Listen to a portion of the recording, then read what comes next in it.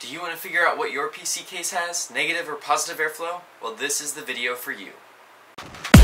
Yeah, yeah, yeah, yeah, yeah, yeah, yeah, yeah.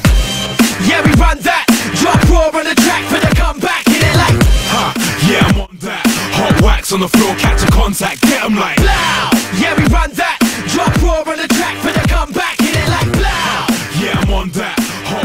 the floor, catch a contact. Mr. HD Gamer 101 is proudly partnered with Freedom and is proudly sponsored by NoScope and G2A. Make sure to check all the links in the description below to learn more.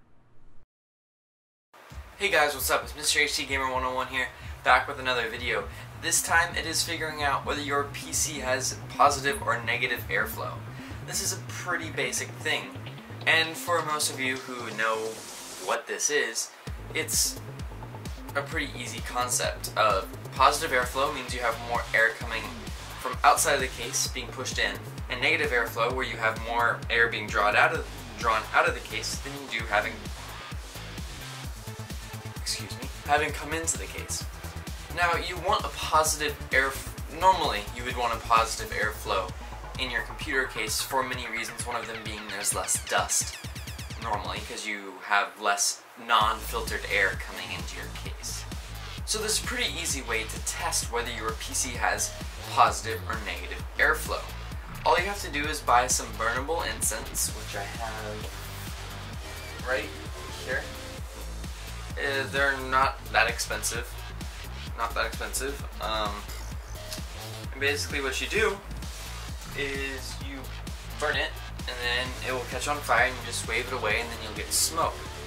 And then you have to wave the smoke in a mini, in a few different places. One of them being the front of your case, with where hopefully there are intake fans. Now, what you really want to see is the smoke being taken into the case. And this is also very helpful if you have a windowed side panel case because you can sort of see the smoke flying around in there. It's not, it doesn't hurt any of your PC components, trust me. Then after you do that, the front of your case, hopefully the air is being drawn in. Now to the back of your case. Hopefully when you put the uh, incense uh, in front of the back exhaust fan, you should see the smoke being repelled out, the, um, like away from the case. And that is good.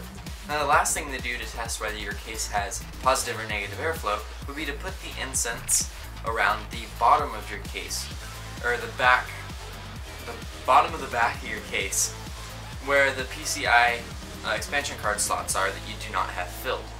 When you do this, you should, if you want positive airflow, and if your computer has positive airflow, you should see the air being repelled from the case. But if you have negative airflow, you will see that the air is being drawn into your case and being blown out the back of your rear exhaust fan again, creating its own little bit of a cycle. So guys, I know this was a really short video, and this is actually the second time of me recording it because my camera was not in focus the first time, so yeah. But hopefully you guys really enjoyed this short and simple and easy tip and trick on how to make sure your computer has positive or negative airflow. And if you want to change your computer to have positive airflow, we probably all you need to do is flip a uh, fan to the other side um, to be drawing air in from the back, or drawing air into the case. So I really hope you guys enjoyed this video. Like I already said, don't forget to leave a like, comment, and of course subscribe if you want to see more easy tips and tricks like this, and of course some more Battlefield 4 montages. I'll see you guys in the next one. Peace out.